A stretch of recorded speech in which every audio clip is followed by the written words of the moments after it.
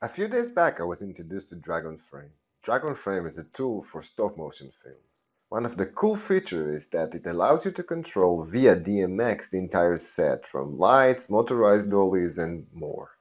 The reason I got to know this was that a good friend needed to set up LED lights for a really small set for a stop motion movie.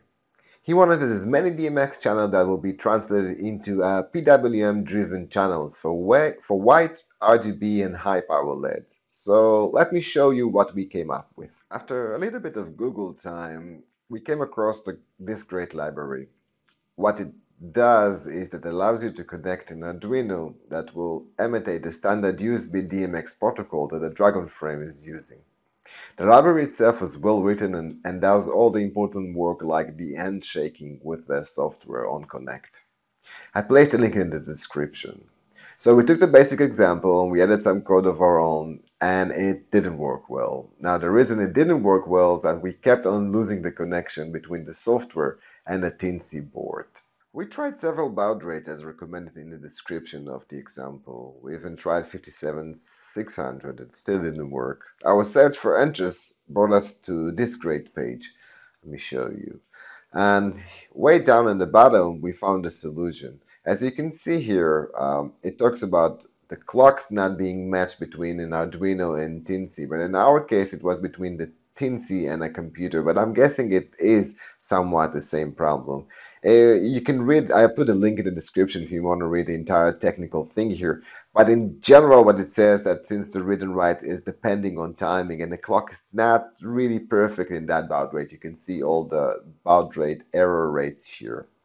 So we ended up using 57601 as it says here to set in the Arduino and that solved our problem.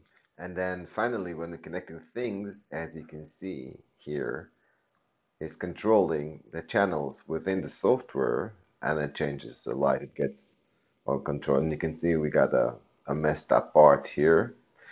And now the reason we choose Teensy was that it has 22 PWM channels. And the second thing is that it allows you to do uh, PWM in a really high frequency and in our case 20k and I want to show you why now I'm pretty sure all of you can notice the flickering here. It's almost like there's bars here.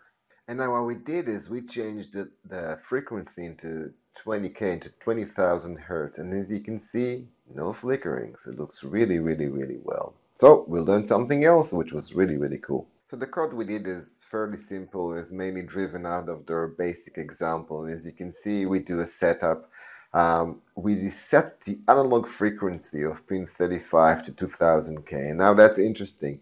Um, as you can see in the list here, you can see which pins are connected to which timer when it comes to PWM and its default frequency. Now, once you change one of them, one of them to a certain frequency, you're basically changing the entire set. You only need to do that once and also to be aware that you cannot, you will have to reset them if you want a different one on the same timer.